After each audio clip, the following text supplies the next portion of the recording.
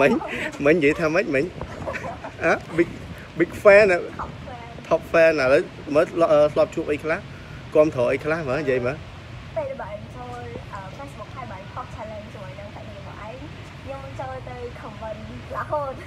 ដើម្បីចង់ឲ្យបងឯងធ្វើឲ្យ challenge ហ្នឹងអញ្ចឹងណាអូខេរហូតដល់គេ block comment ខ្ញុំមកបងអូហើយបន្ទាប់ពីគេ block ហើយគេបើកមកវិញខ្ញុំចូលទៅ comment ទៀតចុះ ឥឡូវឥឡូវបងបងបងធ្លាប់ចូលមើលដែរ comment ហ្នឹងវាអត់តន់គ្រប់ចំនួនណាវាអត់តន់ reach goal ណាចាចុះឥឡូវគិតថាអឺអឺចង់ឲ្យបងបន្តអាហ្នឹងទៀតឬយ៉ាងម៉េចហ្នឹងហើយបងអឥឡូវឺខ្ញុំចាំកាលពីមុនហ្នឹងបងចាំបងថាដូចគេដាក់ 10k ក៏ 100k ខ្ញុំភ្លេចបាត់ហើយថាបានជា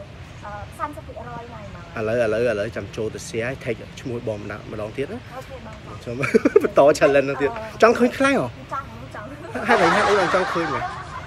នេះឃើញអស់ខ្ញុំជា big fan របស់ឯងមិនថា IG តែជា IG ខ្ញុំ follow បងឯងរហូតហើយមិនថា story អីបងឯងទៅហើយមើលរហូតហើយខ្ញុំចិត្តចិត្តកូនរបស់បងឯងចូលបងឯងស្អាត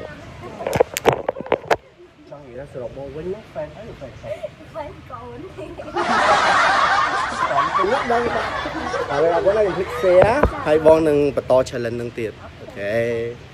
អានេះបងប្អូនគេហ្នឹងណា ខ្ញុំ big fan ដូចគ្នាទេមកគ្រួសារខ្ញុំ big fan មកហើយបងប្អូនម៉ានអ្នកចុះ3នាក់3នាក់បងខ្ញុំបងខ្ញុំ share រហូតអូអ្នកផងក៏ share បងស្វាន់ដូចអ្នកផងក៏ share ដែរ OK អរគុណណាអរគុណអ្នកទាំងពីរណាស់ល្អបាទជំរាបលា bye បាទនៅក្នុង Facebook ក្នុង social media គាត់ខ្លាចជា top fan របស់ខ្ញុំវិញគាត់ថាយើងតាមដល់គ្រប់សកម្មវាអត់ពឹងមែនតើអរគុណពិសេស